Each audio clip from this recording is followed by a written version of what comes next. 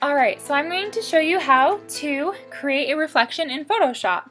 So once I've opened my image, we're going to have a background layer over here that's locked. So just double click on it and then a dialog box will come open, just hit OK. Now we're going to hit Command J or Control J and to duplicate to duplicate that layer. So we're going to quickly name these the top one top and the bottom bottom. And with that done, we're going to hit Command Option C or Control Alt C change these units to percent, and then change the height only to 100. Make sure your relative checkbox is checked and that your anchor is this top center one, and hit OK. Alright, now with your bottom layer selected, hit Command or Control T, and then we're going to right click on it and go down to Flip Vertical.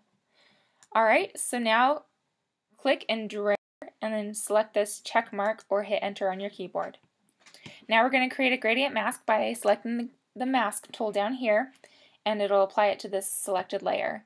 So with your mask selected, come over and grab your gradient tool from your toolbar. Make sure that your colors are at default and click the top of that layer to the bottom. So click and drag. Alright, so then we're going to have this whole layer selected and not just the mask and come up to lock transparent pixels, this icon here. Next, go filter, blur, motion blur. Enter in 90 degrees and 75 pixels and then click OK.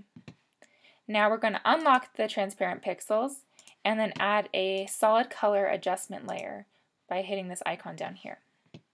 Alright, we're just going to hit OK, take this layer and drag it to the very bottom here. Now to change the color of the water, we're going to double click on that first icon in that layer and then sample a color from the sky. And I like my water to be just a touch darker, so I'm going to go ahead and choose my own and hit OK.